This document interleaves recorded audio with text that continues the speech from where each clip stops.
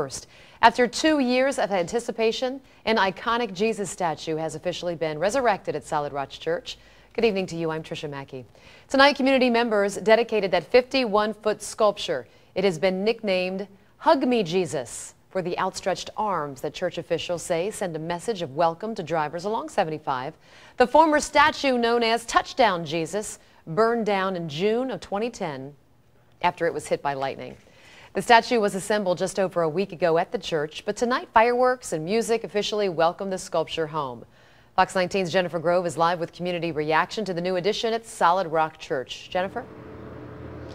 Well, the celebration out here just quieted down not that long ago. I can tell you the official name of this new statue is the Lux Mundi, or the light of the world. But folks here at the church say whatever people end up calling it, they hope it will stand as a beacon of hope for years to come.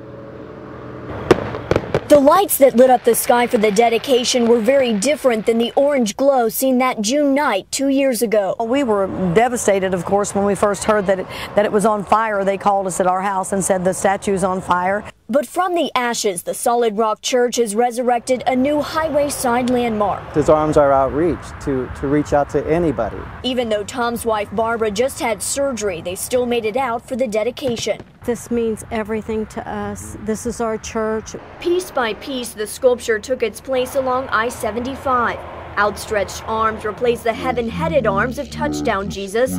I think any time that anybody, whether it's an atheist, an agnostic, or whether it's a believer, when they drive by here, they have to think one word, Jesus. While the church was determined to rebuild, they've done what they can to make sure this sculpture will last. From the fire-resistant materials chosen to the lightning rod atop Jesus' head. The other one, we knew that it was very flammable, and this one is supposed to be uh, protected pretty good. But not everyone was celebrating the dedication. Idolaters will not enter into the kingdom of heaven.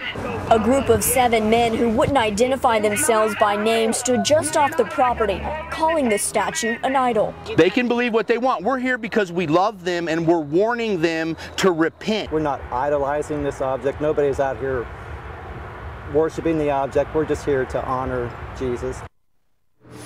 Now, in an effort to tell all sides of the story, some of our viewers today questioned why not take the money for this statue, put that into the community to some other needs. So we asked the pastor tonight. She says that this statue has been entirely paid for through insurance money from, as you saw that video, the Touchdown Jesus, as they called it, that burned two years ago. Reporting live here at Solid Rock Church tonight, Jennifer Grove, Fox